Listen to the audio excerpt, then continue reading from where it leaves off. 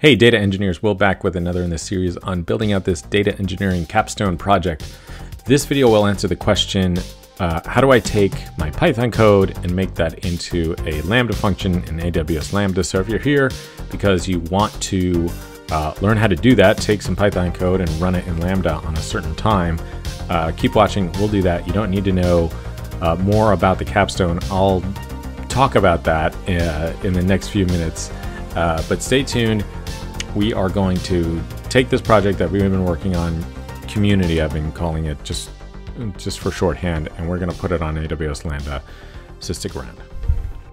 Okay, so I want to show you where we are going to be by the end of this video. Uh, so I have this S3 bucket that is this capstone project, and it has articles and comments in it.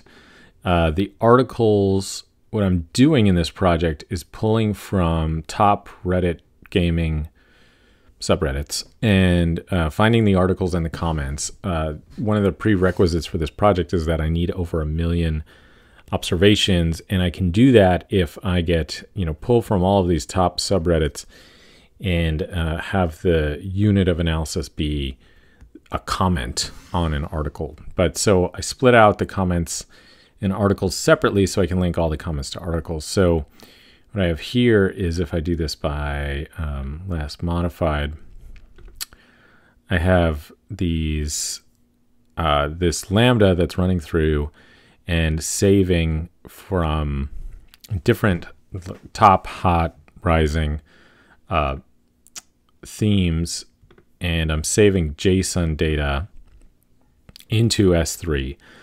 In the, another video, what I'm going to do is take from S3 and put it into uh, Redshift, where I could do analysis from it or do whatever with it.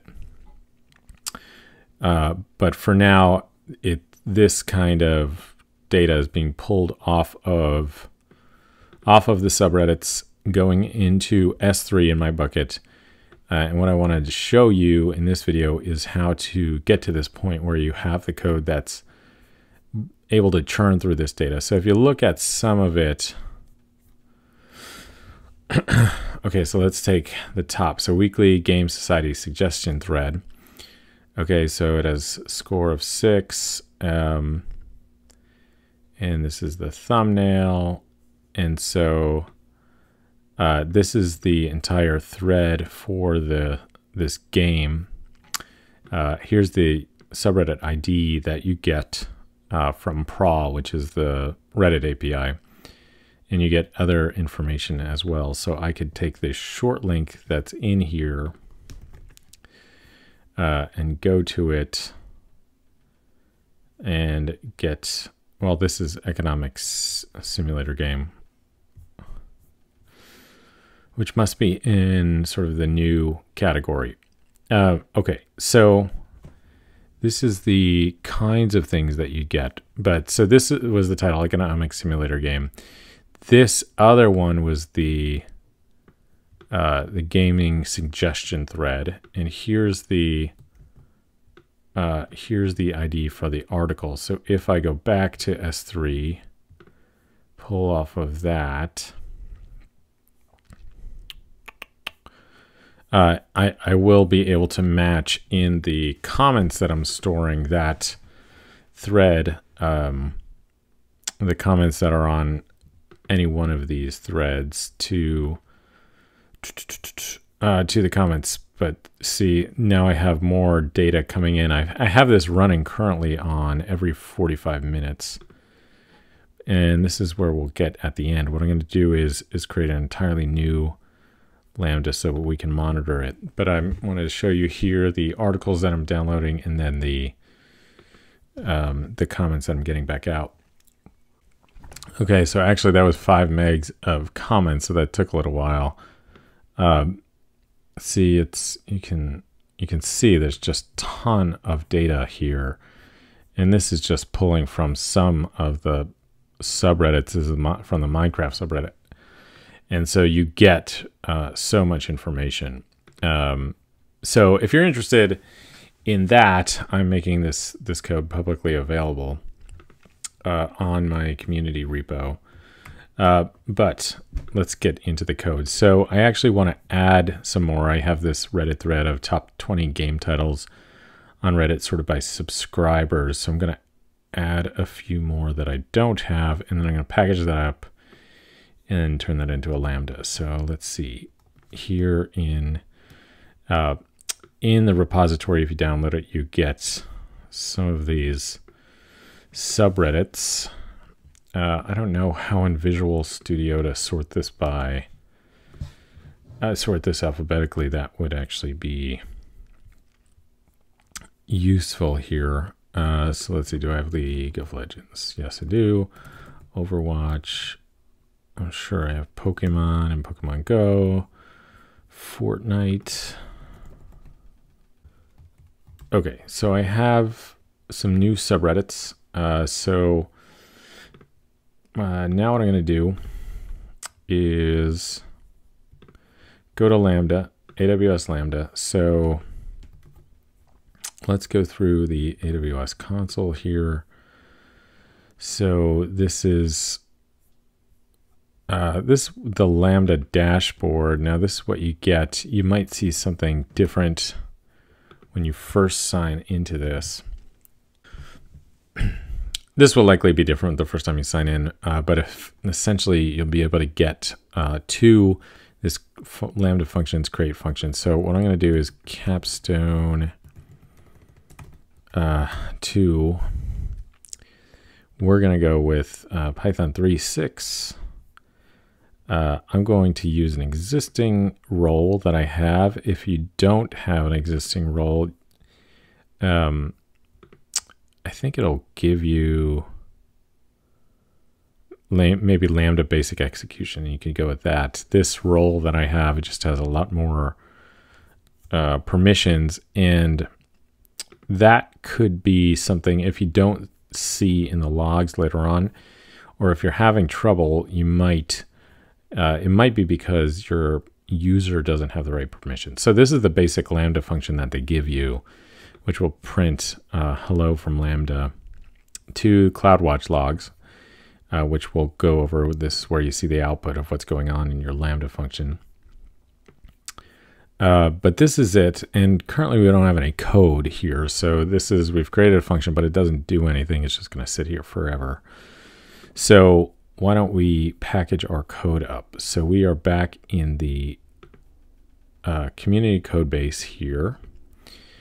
And I've just updated this code. So now I want to uh, package it up and turn it into a Lambda. So how are we going to do that? So in my directory here, I'm going to make a new directory. I'm going to call it Lambda. so I'm doing this uh, because what Lambda allows you to do is upload a zip file. So we are going to upload a zip file. I found that's just the easiest way to go.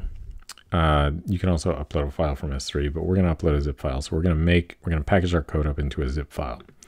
So things that we have to do. So I have this Lambda directory now in the code base. I'm not going to commit that because what I need to do is we need to install here uh, our dependencies. So if you go to the main file of this, of the community code base, the outside libraries that I'm that I'm using that aren't part of the Python standard library are praw and boto3. So what I need to do is inside this directory install of these packages into the directory. And you do this with pip install the library as you normally do with Python, but then dash T and then period to install directly. And so what this is going to do is install my requirements directly into this Lambda directory that I made. Okay, so what this directory now has is all of this, it's a lot of stuff and it's all the requirements for uh, that come with these libraries when they get installed into your machine, but they're installed now into the directory. Uh, so another thing that uh, Amazon recommends you to do is uh, the chmod command, chmod, I'm not sure what you call it, recursively to open up permissions on these files. uh, just so uh, you can zip them up, I believe. I'm going to use this zip recursively and put a capstone, let's put capstone.to zip into this directory. So just zip up all this code. Actually, I forgot, and this isn't going to work now because what I just did was just zip up my packages. I didn't actually put code into here. So I'm going to go back and I see that I have capstone2.zip and I'm going to remove that because that wouldn't work at all. Uh, and I'm going to go into my Lambda directory again. And now what I need is in community repo, I have a main file which has this code that I've been working on that does all of the cleaning and turning of calling of Reddit submissions, turning and churning through that data. It has a Lambda handler function, which is what Lambda knows to call to uh, to execute. It's essentially main in my case. I also have a config file that I need to get in here. Um, and my config file has environment variables that we'll have to set later. Okay, so all of this needs to go into the Lambda directory. So I'm going to touch a main.py, and I'm going to touch a config.py, and I'm going to move the config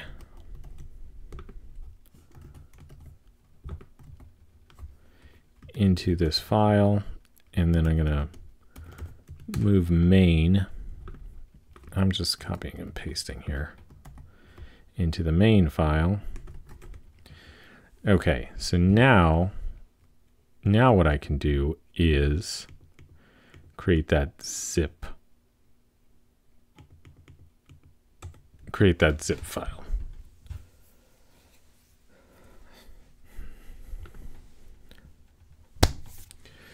So what I'm essentially doing is packaging all this code into capstone2.zip. So let's go back now to uh, S3 at Lambda. And so I can upload a zip file, Python 3.6, upload, and I have capstone 2. That's what we just made.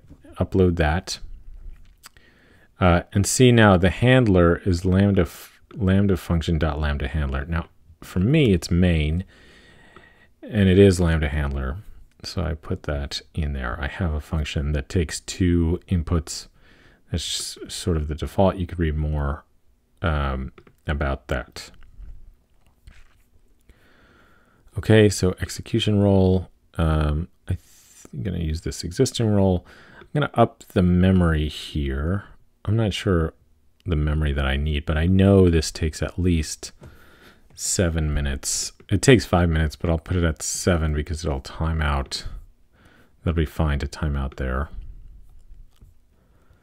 No hand lambda handling. Now I also need to put for this project, I need to set my environment variables, or this will certainly fail. Praw secret, praw key, and praw user agent. So praw uh, secret praw key and praw user agent. So I need to set these variables just uh, without any quotes or anything around them. I think the praw user agent actually um, capstone project I think the praw user agent is just a string, so that'll be fine. But what I'm going to do now is take my praw and praw key, which I don't want to show you here, and put them in as environment variables. Okay, so I put those in. I'm going to hit save now.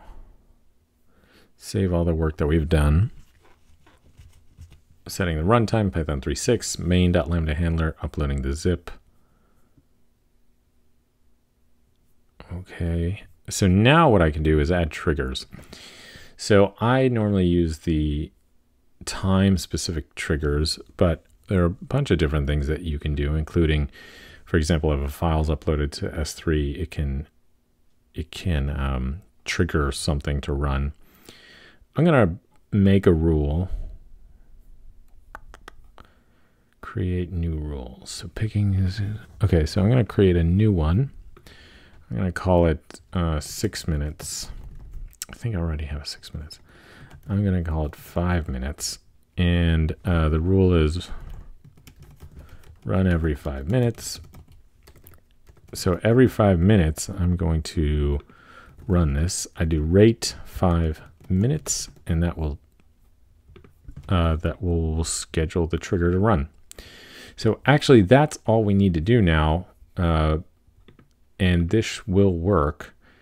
Now what I'm going to do here is go back and disable my other Lambda from running. So this is my other Lambda that I had set up here, and I am going to go to the triggers and disable them and save so that won't run anymore. Uh, that was running every 15 minutes. Okay, so now how do I know that this is working? So I set this run, it should be running, but how do I know? I can monitor it in AWS CloudWatch for free. I didn't have to set up any of this, it just works. So if I go over to CloudWatch, I'll be able to uh, take a look at this thing.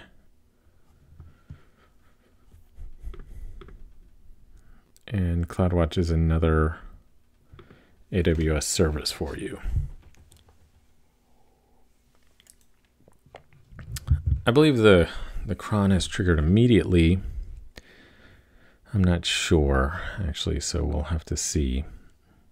But I'll show you, here's Capstone 2. It already started. So here are my logs. So if I go to CloudWatch logs, Capstone 2 already started. So here is where I'd see if something uh, something was problematic. Now I had done this before, so uh, I'm not seeing actually any errors, which is fantastic. Uh, but if you do get errors, you can view what's going on inside these CloudWatch logs. Inside the functions, just to show me what's going on. So inside of S3, if I go to S3, I should see the next set of articles that appear in my S3 bucket uh, to be Dota 2. So I'm going to check that out. Then in the next video, what I need to do, the data and more of the data engineering part of this, is move these articles and comments from S3 into Redshift, uh, another AWS resource. And what that will enable me to do is, is to do some analysis on this data that we're collecting. Okay, so there it is, 10.05, 2350 which is what I'm seeing from my CloudWatch logs. All right, great. So uh, stay tuned. That's how we uh, took our code, packaged it, uploaded it as a Lambda, and now it is running and we can monitor it with some logging information. So uh, stick around and uh, I still need to finish this capstone.